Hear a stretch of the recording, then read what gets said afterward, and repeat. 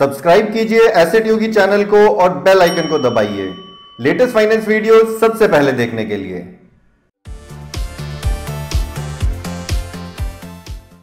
नमस्कार, मेरा नाम मुकुल है और एसेट योगी में आपका स्वागत है, जहाँ हम फाइनेंस की नॉलेज को लॉक नहीं अनलॉक करते हैं। इस वीडियो के अंदर हम वर्किंग कैपिटल की कैलकुलेशन को समझेंगे एक एग्ज़ाम्पल से।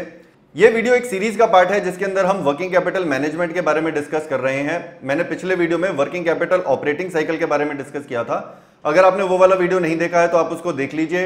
आपको लिंक नीचे डिस्क्रिप्शन में मिल जाएगा। इस वीडियो के अंदर हम वर्किंग कैपिटल का कंसेप्ट थोड़ा सा और डिटेल में समझेंगे। उसका क्या फॉर्मूला होता है और उसकी क्या कैलकुलेशन होती है। तो आप इस वीडियो को लास्ट तक ज़रूर देखिएगा। चलते हैं सीधा ब्लैक बोर्ड की तरफ़। एक बार क्विक रिकैप कर लेते हैं। तो अगर आप किसी भी मैन्युफैक्चरिंग इंडस्ट्री के अंदर हैं तो आप पहले रॉ मटेरियल प्रोक्योर करते हैं। लेट से आपको खरीदने और उसको स्टोर करने में तीस दिन लग जाते हैं। फिर आप मैन्युफैक्चरिंग करते हैं तो वर्क इन प्रोग्रेस का टाइम लेट से करीब दस दिन होता है। फिर वो फिनिश गुड्स बन जाते हैं तो आपको करीब 20 दिन लगते हैं उसको वेयर हाउस में रखते हैं आप 20 दिन के लिए उसको। उसके बाद वो सेल होती है। और सेल्स होने के बाद 30 दिन के अंदर आपके जो रिटेलर्स और होलसेलर्स हैं, वो पैसा देते हैं। तो ये जो आपकी total cash to cash cycle है, ये करीब 90 दिन की बन जाती है। आपको तीन महीने बाद अपना पैसा वापस मिलता है। तो इसी को हम वर्किंग कैपिटल कहते हैं, जो आपका पैसा फंस जाता है। चलिए, अब हम इसकी कैलकुलेशन समझते हैं कि इसका फॉर्मूला क्या होता है एग्जैक्टली exactly. उसके पहले एक बार आप ये समझिए कि ये जो आप raw material work in progress और ये जो फिनिश गुड्स हैं, ये सारी बेसिकली आपकी इन्वेंट्री है। और ये जो इन्वेंट्री है, ये अलग अलग टाइप की इन्वेंट्री है। तो आपको रॉ मटेरियल की cost plus work in progress की जो इन्वेंट्री है, प्लस फिनिश गुड्स की जो इन्वेंट्री है, ये टोटल ऐड करनी होती है राइट तो ये तो हो गई इन्वेंट्री, ये होता है आपका जो डेटर्स होते हैं, इन्हें हम अकाउंट्स रिसीवेबल कहते हैं। तो ये पैसा क्योंकि आपको इमीडिएटली नहीं मिल रहा है, ये आपके अकाउंट्स रिसीवेबल में आ जाते हैं। और बाकी कैश पोजीशन जितना भी आपके पास एग्जैक्ट कैश पड़ा हुआ है, वो आपकी कैश पोजीशन हो जाती है। चलिए अब हम वर्किंग कैपिटल का फॉर्मूला देखते हैं। तो वर्किंग कैपिटल एक्चुअली है क्या? वर्किंग कैपिटल आपका वो अमाउंट है जो आपको day to day operation run करने के लिए पैसा चाहिए अपने बिज़नेस के अंदर। राइट right, इसके बारे में मैं ऑलरेडी बात कर चुका हूँ। हमने ये ऑपरेटिंग साइकिल के अंदर भी देख लिया था। अब इसका फॉर्मूला होता है working capital is equal to current assets minus liabilities ये करंट लाइबिलिटीज है राइट right? तो basically current assets minus current liabilities आपकी वर्किंग कैपिटल होती है। और करंट एसेट्स क्या होते हैं?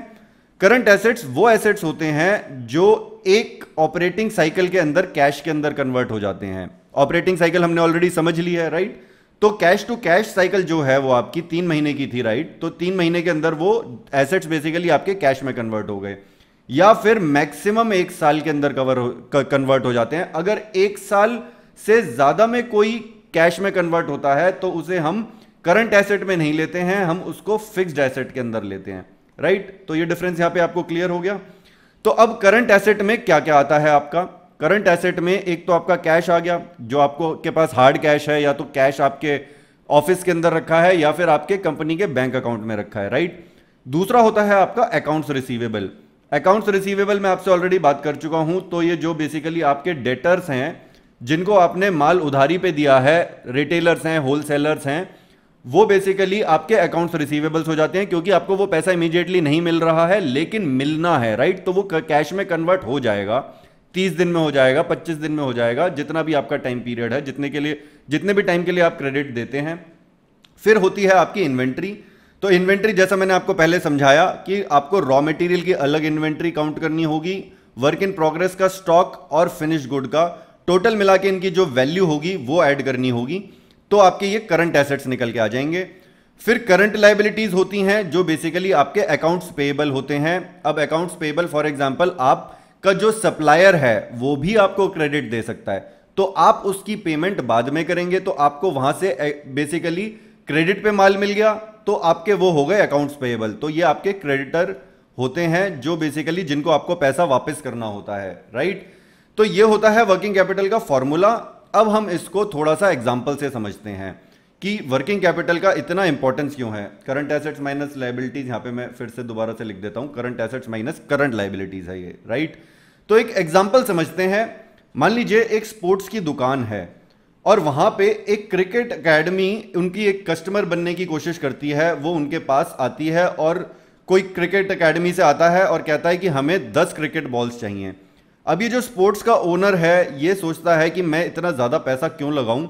मैं खाली पचास हज़ार कैश से स्टार्ट करूँगा राइट तो वो सोचता है कि देखिए, मेरे को हज़ार रुपए की बॉल पड़ती हैं लेट से ये दस, एक बॉल जो है, वो उसको सौ रुपए की पड़ती है। वन बॉल जो उसकी कॉस्ट है, वो सौ रुपए की है, जिसको वो डेढ़ सौ रुपए में बेचता है। तो ये उसकी कॉस्ट है, ये उसका प्राइस है राइट तो फिनिश गुड्स का, दस क्रिकेट बॉल का हज़ार रुपए उसकी कॉस्ट हो गई और प्राइस हो गया पंद्रह सौ। तो अब यहाँ पे उसने कुछ भी पैसा इन्वेस्ट नहीं किया है तो वो जस्ट इन टाइम पे ऑपरेट करता है कि जैसे भी, जैसे ही ऑर्डर आएगा, मैं उसी टाइम पे ऑर्डर प्लेस करूँगा और मैं उसको, माल को बेच दूँगा। लेकिन रियल लाइफ में ऐसा नहीं होता है। अब बेसिकली वो कैश पोजीशन तो मेंटेन कर रहा है, उसके पास लेट से पचास हज़ार रुपए हैं कि भाई इमीडिएटली कुछ भी अगर माल चाहिए होगा तो मैं खरीद लूँगा और बेच दूँगा इमीडिएटली उसने इन्वेंट्री बिल्कुल ज़ीरो रख रखी है, उसके लेट से क्रिकेट का कोई इक्विपमेंट नहीं है उसके पास राइट तो वो कहता है कि भाई ठीक है, ये दस क्रिकेट बॉल हैं तो वो एक, उसके पास जाता है कि भैया ऑर्डर प्लेस करता है फैक्ट्री के पास कि आप मेरे को दस क्रिकेट बॉल्स भेज दीजिए। तो वो कहते हैं, ठीक है जी, भेज देते हैं हम। आप हमें बस थोड़ा सा टाइम दीजिए। आपके पास लेट से सात दिन के बाद ये दस क्रिकेट बॉल पहुँच जाएँगी। अब क्या ये क्रिकेट अकेडमी सात दिन तक वेट करेगी खाली दस क्रिकेट बॉल का? डेफिनेटली नॉट ये एक दूसरे स्टोर के पास जाएँगे स्टोर टू के पास और इमीडिएटली खरीद लेंगे। तो यहाँ पे देर इज़ नो ऑर्डर यहाँ पे तो कोई बिज़नेस ही नहीं हुआ उसका. इन्वेंट्री एकदम ज़ीरो है उसके पास राइट तो अकाउंट्स रिसीवेबल का कोई मतलब ही नहीं है, ना कोई बिज़नेस हुआ, ना कोई खरीदारी, ना कुछ बेचा. अकाउंट्स रिसीवेबल ज़ीरो हो गए अकाउंट्स पेएबल भी ज़ीरो हो गए राइट क्योंकि अब ये, अगर स्पोर्ट्स वाली दुकान के पास, अगर उसके पास कोई ऑर्डर ही नहीं आया तो ये वाला ऑर्डर भी उसको कैंसिल ही करना पड़ गया. ना कुछ उसने खरीदा, ना कुछ बेचा राइट तो नेट वर्किंग कैपिटल यहाँ पे क्या हुई? जो उसके पास कैश की पोजीशन थी, पचास हज़ार रुपए एज इट इज़ उसके पास पड़े रह गए, ना उसने कोई बिज़नेस किया वर्किंग कैपिटल तो कम थी, लेकिन प्रॉफिट भी इनका भाई साहब का ज़ीरो हो गया। अब क्या हुआ? क्रिकेट अकेडमी दोबारा से एक महीने बाद इस स्टोर के पास आती है सेम ऑर्डर प्लेस करती है, दस क्रिकेट बॉल का सेम चीज़ है कॉस्ट हज़ार रुपए है प्राइस पंद्रह सौ रुपए है लेकिन अब ये जो भाई साहब हैं स्पोर्ट्स के दुकान के जो ओनर हैं, वो थोड़े से स्मार्ट हो जाते हैं। वो अब इन्वेंट्री मैनेज करना शुरू कर देते हैं। वो कहते हैं, यार, ऐसे तो अगर मैं माल रखूँगा ही नहीं अपनी दुकान के अंदर तो मेरा माल बिकेगा कैसे? तो वो इन्वेंट्री कहता है कि, भाई, मैं दो लाख रुपए इन्वेस्ट करता हूँ अपने बिज़नेस के अंदर। पचास हज़ार रुपए तो मैंने कैश रखे ही हुए हैं। दो लाख एक्स्ट्रा इन्वेस्ट करता हूँ। तो टोटल उसने ढाई लाख रुपए इन्वेस्ट कर दिए राइट अब उसने दो लाख रुपए की इन्वेंट्री मैनेज करनी शुरू कर दी। तो ये देखिए इन्वेंट्री इसने जैसे दो लाख रुपए की रखी, अब क्या हुआ? यहाँ पे इसने माल बेचा पंद्रह सौ रुपए का और इसकी कॉस्ट थी उसकी हज़ार रुपए। तो अब इसको जो ये पंद्रह सौ रुपए मिले, ये इसकी कैश पोजीशन चेंज हो गई और पंद्रह सौ रुपए इसके अंदर ऐड हो गए। तो इसकी कैश पोजीशन कितने की हो गई? पचास हज़ार इक्यावन हज़ार पाँच सौ रुपए राइट और इन्वेंट्री जो थी, वो हज़ार रुपए की माइनस हुई। तो इसमें से हज़ार रुपए माइनस हो जाएँगे। तो अब इन्वेंट्री कितने की बच गई उसके पास? एक लाख निन्यानवे हज़ार की। अकाउंट्स रिसीवेबल कुछ नहीं है ज़ीरो है, क्योंकि इन्होंने कैश पेमेंट कर दी, छोटा सा ही ऑर्डर था, कोई दिक्कत ही नहीं हुई। अकाउंट्स पेबल भी यहाँ पे ज़ीरो है, किसी तरीके की कोई लाइबिलिटी नहीं है कैश में सारा का सारा सौदा हो रहा है राइट तो नेटवर्किंग कैपिटल कितनी हुई? कैश पोजीशन आप देखिए पहले, इक्यावन हज़ार प्लस आप इन्वेंट्री ऐड कर दीजिए, एक लाख निन्यानवे हज़ार की। प्लस आप अकाउंट्स रिसीवेबल ज़ीरो हैं और अकाउंट्स पेबल भी ज़ीरो है तो माइनस ज़ीरो कर देते हैं हम। तो यहाँ पे नेट वर्किंग कैपिटल कितनी हो गई? दो लाख पचास हज़ार पाँच सौ रुपए। इसने इनिशियली ढाई लाख रुपए लगा रखे थे तो ये जो इसका बाकी का है, पाँच सौ रुपए, ये इसका प्रॉफिट आ गया। तो अब यहाँ पे देखिए फ़ायदा क्या हो रहा है इसको। इसने पैसा तो काफ़ी सारा इन्वेस्ट कर दिया, लेकिन इसको प्रॉफिट कम आ रहा है राइट इस केस के अंदर। चलिए अब हम देखते हैं, अगर मान लीजिए ये ऑर्डर बड़ा होता तो कैसे सिनेरियो चेंज होता? अब फॉर एग्ज़ाम्पल अब ये लेट से अगले महीने क्रिकेट अकेडमी फिर आती है और इस बार कहती है कि हम तुमको क्रिकेट किट्स ऑर्डर करना चाहते हैं। लेट से पूरी की पूरी दस क्रिकेट किट्स ऑर्डर करना चाहते हैं और जिसकी कॉस्ट टोटल मिला के एक लाख पचास हज़ार हो जाती है। पंद्रह हज़ार रुपए की एक किट आती है तो दस क्रिकेट किट जो हैं वो डेढ़ लाख रुपए की हो जाती हैं राइट तो उनकी कॉस्ट जो है उसको एक लाख रुपए की पड़ती है। तो इस केस में क्या होगा? तो देखिए यहाँ पे ऑर्डर साइज़ बढ़ गया। कैश पोजीशन उसकी अभी भी पचास हज़ार रुपए है, इन्वेंट्री उसने दो लाख रुपए की रखी हुई है तो अब इस केस में एक लाख रुपए का अगर वो उसमें से माल बेच देता है तो यहाँ पे आप माइनस हंड्रेड थाउज़ेंड कर देंगे तो अब आपकी इन्वेंट्री कितनी आ गई? एक लाख रुपए। लेकिन अब ये जो क्रिकेट एकेडमी है, ये उसको कहती है कि ये डेढ़ लाख रुपए हम आपको इमीडिएटली नहीं देंगे। इन्वेंट्री तो माइनस हो गई, इन्वेंट्री उसने सामान तो हाथ के हाथ दे दिया। लेकिन अब क्रिकेट एकेडमी कहती है कि ये आप हमको, ये जो सामान है, ये क्रेडिट पे दे दीजिए। हम आपको पैसा तीस दिन के बाद देंगे। तो तीस दिन का इन्होंने क्रेडिट पे मांग लिया। अब स्पोर्ट्स का ओनर कहता है कि भाई ऑर्डर तो बहुत बड़ा है, मेरे को क्रेडिट पे दे देना चाहिए, वरना मैं पैसा कैसे कमाऊँगा? इनके साथ रिलेशन तो बना नहीं है। फिर वो दे देता है, लेकिन उसके पास कैश पोजीशन तो पचास हज़ार ही रह गई। एक लाख रुपए उसके एक्स्ट्रा निकल गए, राइट? तो अब उसके अकाउंट्स रिसीवेबल कितने हो गए? एक लाख पचास हज़ार रुपए। तो ये जो डेढ़ लाख रुपए थे इसके, ये अकाउंट्स रिसीवेबल बन गए, ये उसने क्रेडिट पे माल बेच दिया।